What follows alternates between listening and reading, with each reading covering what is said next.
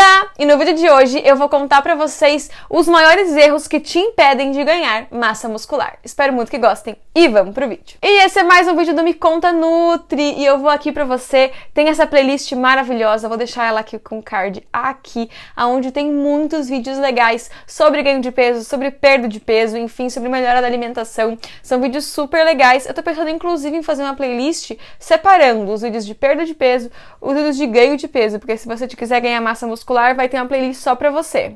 Acabei de pensar que eu vou fazer assim. Então vai ter uma playlist, vou colocar aqui o nome dela. Bem linda. E ela vai estar aqui nos cards. Você pode ir lá. Tem um aulão só sobre pré e pós-treino. Tá muito legal. Aquele vídeo tá muito completo. Tem um vídeo antigo que eu falo sobre pré e pós-treino que também tá legal. Eu estudei bastante depois dele, então por isso que podem ter divergências. Porém, é legal assistir porque a, estrutura é a mesma, tá? O meu pensamento não mudou. Tá lá também. Tem um guia definitivo para ganho de massa muscular, onde eu te dou passo a passo o que você tem que fazer, o que você tem que mudar, tá super legal, vai estar tá lá também. Mas aqui a gente vai falar sobre erros, o que você pode estar errando e que está te impedindo de ganhar massa muscular. Então vamos começar pelo principal, mais lindo, maravilhoso, que é o consumo de proteínas. Se o seu consumo de proteínas estiver baixo, não adianta, você não vai conseguir ganhar massa muscular. Então ele é muito importante, tá? consumo de proteínas não significa que tem que se entupir de proteína o dia inteiro e nem só comer isso e nem ter medo dos carboidratos e nem nada disso, tá? Porém, sim, ele é muito importante. Aí, Bru, mas qual é o consumo de proteína que a gente deve consumir? A gente tem um, um, certo padrão quando a pessoa uh, tem, por exemplo, ela não faz atividade física nenhuma, a gente coloca ali de 0,8 até 1, 1,2 gramas de proteína por quilo de peso. Sim, ele é bem personalizado pro teu quilo de peso, tá? Uh, ah, tem gente que. Ai, mas tem gente que come 2, 2,5, 3 gramas por quilo de peso. Não precisa, tá? Isso é muita coisa. Até 2 é ótimo, mas mais que dois é uma coisa meio inútil, você não vai utilizar aquela proteína toda ali. Uma vez perguntaram para mim sobre qual era o limite de absorção de proteínas. Existe alguns estudos que falam que cada refeição a gente consegue absorver cerca de 20 a 30 gramas de proteína. Porém, até você sabe que pode se absorver mais, porém você não utiliza, porque o seu corpo não. Tipo assim, tem muita proteína demais de uma vez só ele não vai usar isso para ganho de massa, ele vai usar o que ele precisa e o que ele não precisa ele vai jogar fora. Ou vai usar para alguma outra coisa, inclusive para transformar em energia como se ele fosse um carboidrato. Por isso que não vale a pena se entupir de proteína, se restringir de carboidrato, que se teu corpo não utilizar a proteína, ele transforma ela em glicose e usa como se fosse carboidrato. Aí você não come pão porque não quer engordar e come um monte de carne, ou de ovo, ou de proteína vegetal e tá virando o pão. Entenderam? Então, não, não vale a pena se restringir por uma coisa assim. Porém, contudo, entretanto, todavia, vamos lá.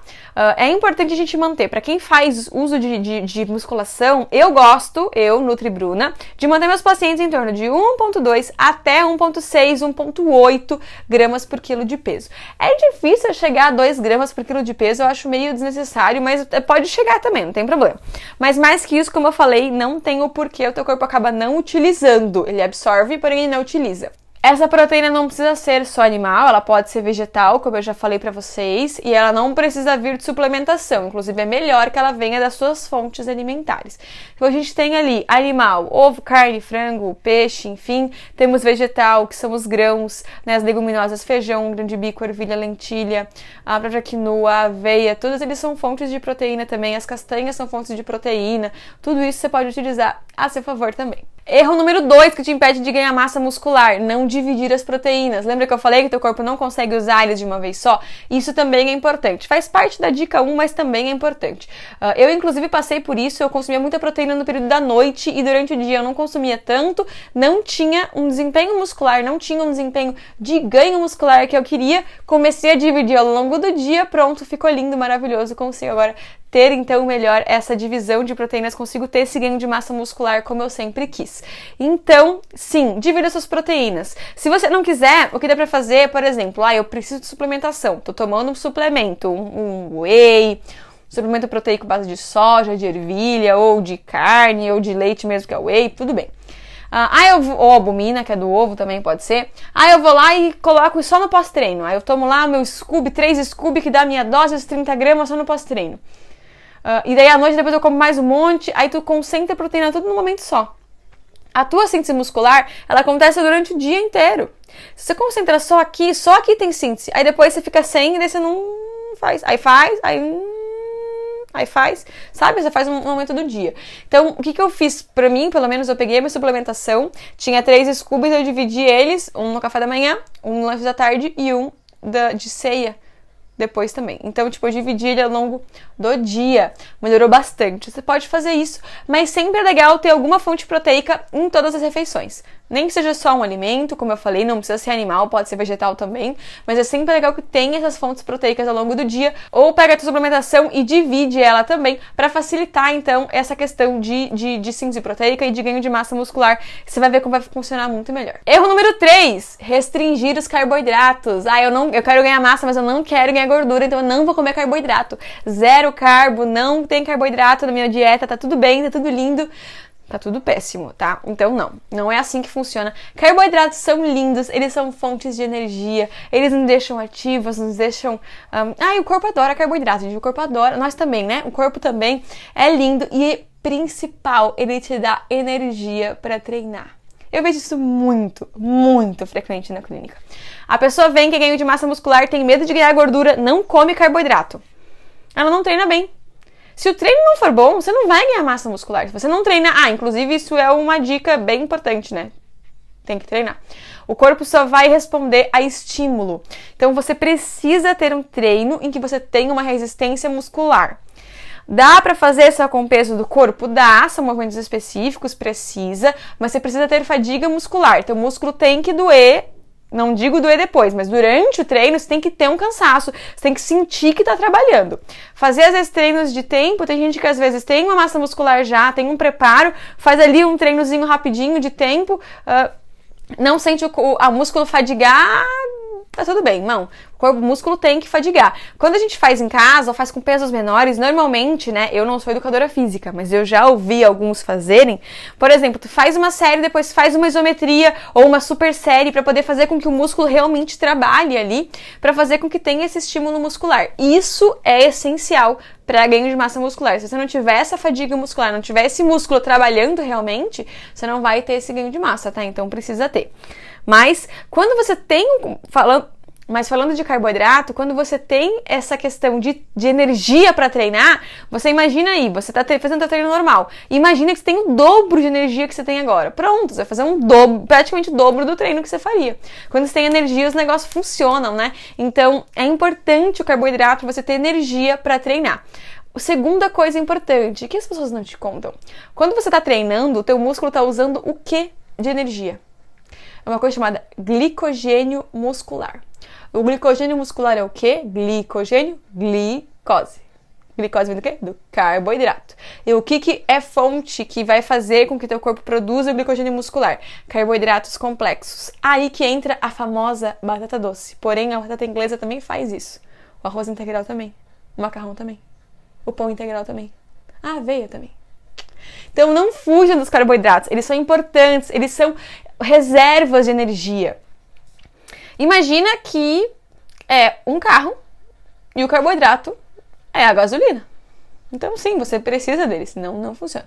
Você pode ter um carro lindo, com um motor maravilhoso, que tem um potencial incrível de, de, de funcionar. O óleo do seu motor, por exemplo, é lindo, mas ótima qualidade. Aí você não bota gasolina, ou bota pouco. Ele não vai andar, ele não vai correr. Ou bota uma gasolina de péssima qualidade e não vai funcionar tão bem. Então é isso aí que funciona o corpo, tá? Tem que ter carboidrato. Não tô falando para se entupir de carboidrato o dia inteiro, mas tem que ter e tem que ter uma quantidade boa, tá? O nosso corpo funciona aí, vamos botar assim um, um gráfico. Vamos botar um gráfico. De 50 a 70% do, da, da, do, do, da comida é carboidrato, tem que ser, tá? Aí os outros a gente divide aí de 10 a 25% para proteína e 10 a 30% para gordura, tá? Vamos botar assim tá? Pra vocês entenderem. É porque é muito relativo, não posso dar um número assim. Mas, tipo, a maior parte vem do carboidrato. Então, ele não funciona só para te dar energia para viver, mas como também para treinar. Então, não esquece dele, ele é muito importante. Ai, mas aí como que eu vou comer melhor para ter desempenho no treino? Assiste lá os vídeos que eu falei que você vai pegar bem certinho, mas eu vou dar uma dica aqui rapidinha para você entender também.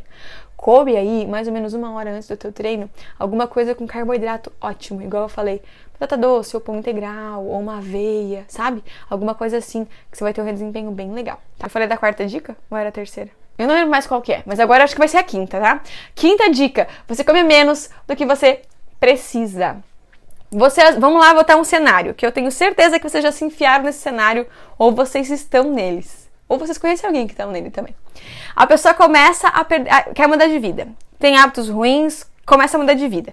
Muda a alimentação, começa com exercício, começa a perder peso. Bem feliz, animado, perdendo peso, uh, beleza, né? Chega um ponto que fica meio mole, perde a bunda, perde a coxa, não tá tão feliz, quer ganhar mais massa muscular, aí começa a focar na musculação ou troca o aeróbico para musculação, mas continua com a dieta que tava antes, com pouca proteína, com pouco carboidrato, talvez.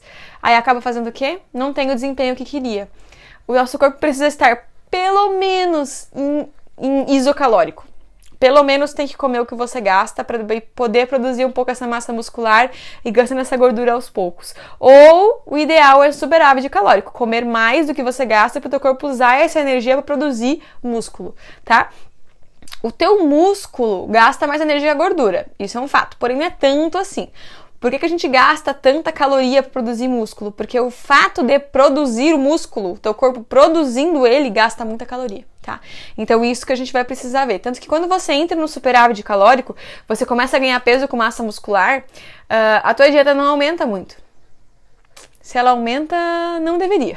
Por quê? Porque, na verdade, o que a gente gasta não é essas, esses quilos de músculo que você vai ter a mais. Teu corpo vai gastar um pouco, mas você vai perder a gordura, vai ficar meio elas por elas. O que, que ele tem, esse superávit calórico, é mais a produção muscular mesmo, tá? Eu até esse tempo atrás estava em déficit calórico, estava focando na massa muscular e comecei a parar de ver resultado. Por quê? Porque eu comecei a perder peso, produzir massa muscular, não tinha mais energia para conseguir fazer mais músculo. Comecei a aumentar, comecei a aumentar meu, meu consumo calórico. Aí deu certo, conseguiu um resultado muito melhor em, em, ganho de massa. Inclusive, até eu tava em déficit, um final de semana acabei extrapolando em uma refeição ali, fiz uma refeição livre, todo mundo faz, tá lindo, maravilhoso. Comi um pouquinho a mais, percebi que na, meus músculos, tipo, parece que subiram muito mais rápido. Aí eu percebi que eu tava me segurando, não me segurando, porque eu não me seguro, né? Mas tipo assim, tava comendo menos do que eu precisaria. Então eu comecei a comer um pouco a mais e comecei a ver essa melhora também. Então, muito importante, não se restrinja quando é questão de ganho de massa. Ah, e pode vir um pouco de gordura? Pode, mas normalmente se você não faz um superávit muito grande, é difícil vir muita gordura. Vem mais a massa muscular mesmo, se você tem um estímulo, tá? Então é importante que você coma um pouquinho mais do que você gasta, ou pelo menos a mesma quantidade, para o teu corpo estar tá conseguindo produzir essa massa muscular ali. Essas foram as principais dicas com os principais erros. Eu espero que tenham gostado e tenham entendido. Não se esqueçam de dar um like, se inscrever no canal, me seguir nas redes sociais. Um super beijo, até a próxima. Tchau!